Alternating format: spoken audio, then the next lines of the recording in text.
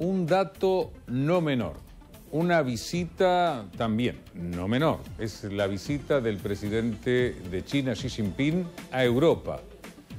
Continente que necesita mucho de China y China también, recibido como un emperador en Francia. Reunión con Emmanuel Macron. En realidad va a estar en tres países, no solamente con Francia. Pero siempre hay que tener en cuenta las expresiones que estuvo, por lo menos es lo que me viene a la mente en estos momentos, las expresiones de Emmanuel Macron cuando dijo, bueno, la OTAN eh, tiene muerte cerebral, Europa hace poco dijo que estaba también cercana a la muerte. Aquí los vemos, ambos se saludan. Eh, recibido con toda la pompa y circunstancia. Así es como fue recibido hoy en Francia. Se produce este encuentro en momentos tensos entre Europa y Pekín, cuando ya se han cumplido más de dos años en la guerra en Ucrania. Pekín obviamente es un país que está cercano a Rusia y además forma parte de los BRICS. Y Bruselas busca dejar de ser dependiente en lo tecnológico de China, a la que acusa de competencia desleal. En realidad, la dependencia de Europa en muchos aspectos con respecto a China es notoria, sobre todo desde un punto de vista tecnológico. Recuerden también el tema de los autos eléctricos. Miren, Tesla produce un auto eh, eléctrico cada un minuto 10 segundos. China lo produce cada 10 segundos. Y además tecnológicamente los autos chinos están muy avanzados, para decir las verdades. De todas maneras, lo que hay aquí es una negociación económica. Mientras vemos a la señora von der Leyen, que recibida por Emmanuel Macron.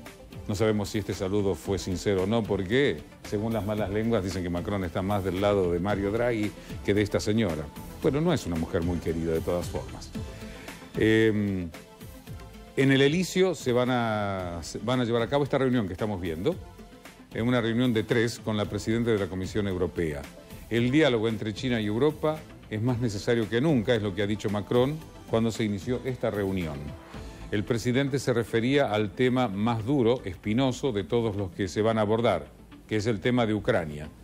El líder chino ha mostrado su apoyo a Vladimir Putin, pero Macron quiere arrancarle el compromiso de ayudarlo a templar sus posiciones, algo que parece altamente improbable. De todas maneras, recordamos que en Suiza se va a llevar a cabo eh, una reunión de dos días en la que no va a participar Rusia, por lo tanto una reunión para lograr la paz en Ucrania sin uno de los contendientes. Además, uno de los países que más está avanzando geográficamente sobre el terreno es un poco complicado, pero se está buscando que por ahí China trate de influir en Moscú. Recordamos, Xi estará en tres países.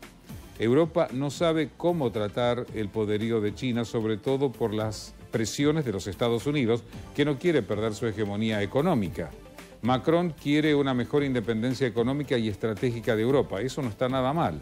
Pero eso sería bueno si esa independencia fuera independencia de China, independencia de Rusia y también independencia de los Estados Unidos. Eh, o mejor dicho, independencia del pérfido mundo anglo. Recuerden la expresión de Kissinger con respecto a ser amigo o enemigo de Estados Unidos.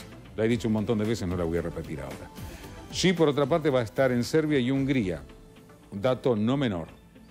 Eh, además, em, por las posturas que tienen ambos países, bastante críticas con respecto al manejo que hace esta señora que estamos viendo en pantalla y otros.